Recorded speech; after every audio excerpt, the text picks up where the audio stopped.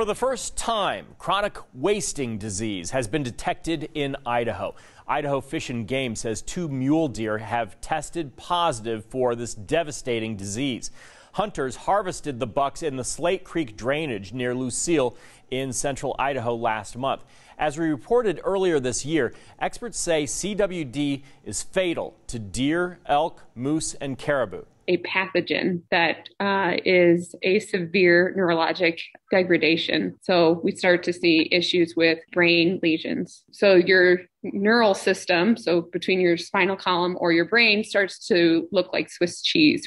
CWD has been identified in parts of the West for decades, including Wyoming and Montana, but never in Idaho. Wildlife officials warn about its possible impact on deer and elk populations. We are very concerned in other states across the U.S. It's actually reduced their populations quite a bit. Uh, Wyoming, which is a similar hunt model to ours, in white-tailed deer, they've had 21% drop in their herds. In elk, they've seen 13% drop in their herds. Officials are asking hunters to help them contain the disease by being mindful of how they dispose of animal carcasses, especially the brain and spinal column. Hunters who travel across state lines are prohibited from bringing whole carcasses from any place that has CWD into Idaho.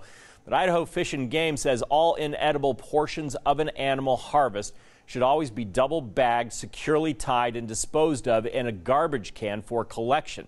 And anyone hunting in Unit 14 is urged to get their harvested deer or elk tested. They need to extract lymph node tissue from the animal's head to do that. Meat or muscle tissue won't work.